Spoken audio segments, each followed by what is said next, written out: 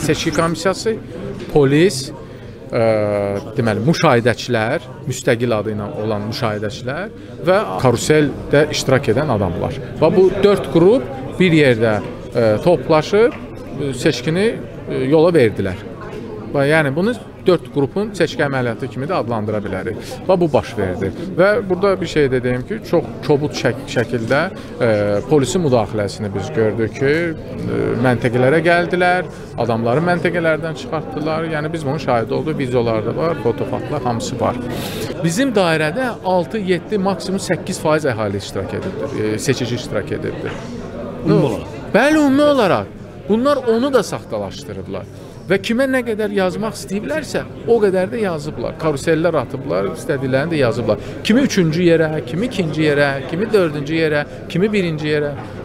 Şikayət verəsiniz? Əlbəttə şikayət verəcək 3 gün ərzində. E, məhkəməyə də müraciət edəcək. Hətta mən düşünürəm ki, e, böyük ehtimal bir neçə məntəqə sətrini də məhkəmə ayrıca olaraq verəcək. Əlimizdə faktlar, sübutlar var.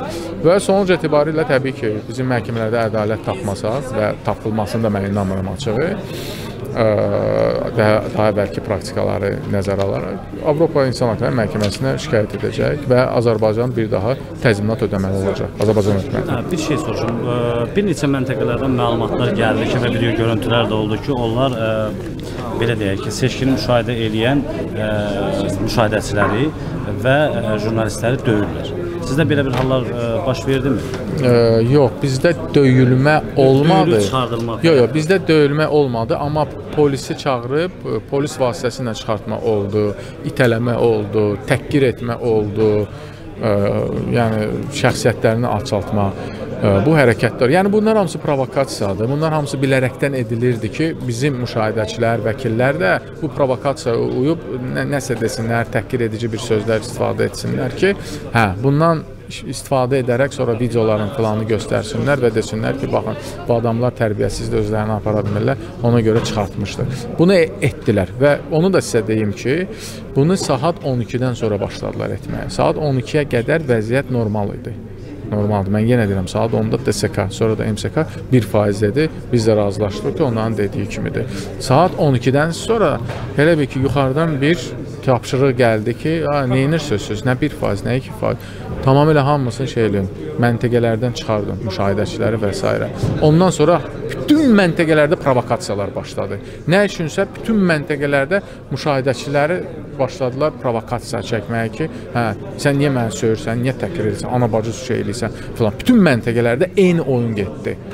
Və elə bir ki, həm bu, bunun yanında da qərar verildi ki, karusellər. Və bir daha qeyd etmək istəyirəm ki, yəni bu seçkilərin e, daha əvvəlki seçkilərdən fərqi onda idi ki, bu səfər karusellərin sayı çox idi, karusel qrupların sayı çox idi, karuseldə iştirak edən şəxslərin çox idi.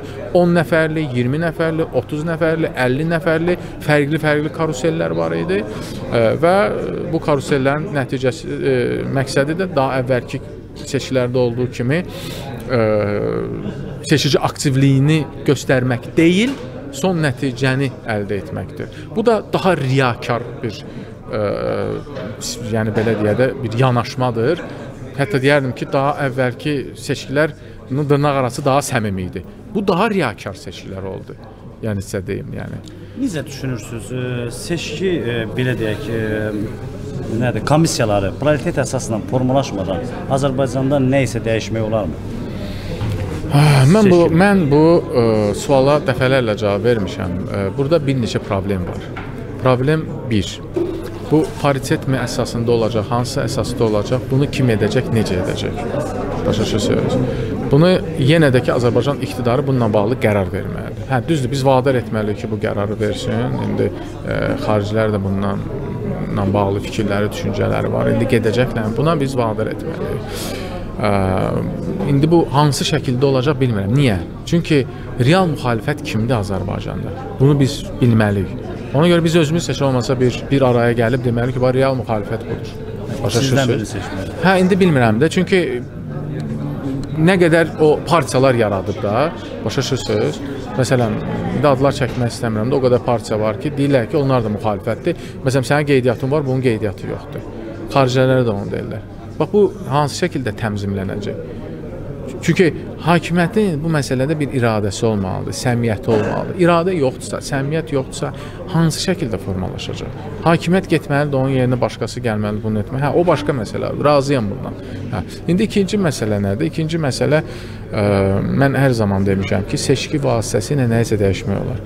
Amma bunu etmək üçün seçicini seçkiyə gətirmək lazımdır. Amma seçicini necə seçkiyə gətirmək lazımdır? Bax sual. Yalnız bir yerdə fəaliyyət göstərməklə vahid namizədlər e, çıxartmaqla, e, xalqa mesajları bir yerdə verməklə, eyni mesajlar verməklə, savaşmamaqla, bir-birlərinə söz atmamaqla, bir, bir xaricilərlə bir yerdə danışmaqla, Avropa Şurası ilə, ATƏT-lə, e, yəni bir yerdə elə yox, bir partiya gedir, bir şey danışır, opsi partiya bir söz deyir, üçüncüsü üçüncü söz deyir. Belə olmamalı idi. Və bu seçkilərdə biz onu gördük. Birisi getmədi seçkilərə, digəri dedi ki, mən heç namizədlərim hamısından ağıllı, hamısından yaxşıdır. Başqa heç bir namizədi biz tanımırıq. Müsavat partiyası da kənarda qaldı. Yeni hərəkat bloku yarandı. Onlar da dedilər ki, biz müstəqil heç bir partiyalarla əlaqəmiz yoxdur. Belə bütün heç bir kommunikasiya olmadı, heç bir əlaqə olmadı və bu hakimiyyət üçün ən yaxşı vəziyyət idi. İstədiklərini elədilər və biz də onlara kömək elədik burada. Biz deyəndə siyasətçilər, siyasi partiyalar, partiyaların liderləri tam on hakimiyyətə pas verdilər bu məsələdə.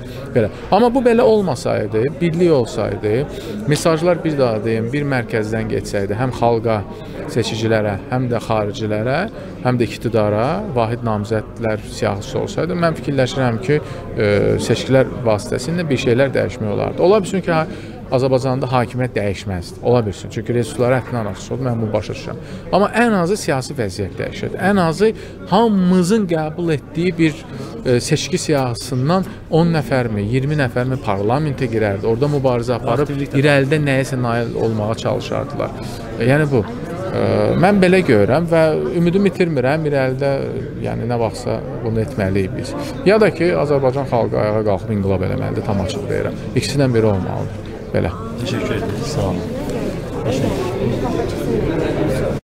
Videolarımızı vaxtında izləmək istəyirsinizsə, YouTube kanalımıza abunə olun.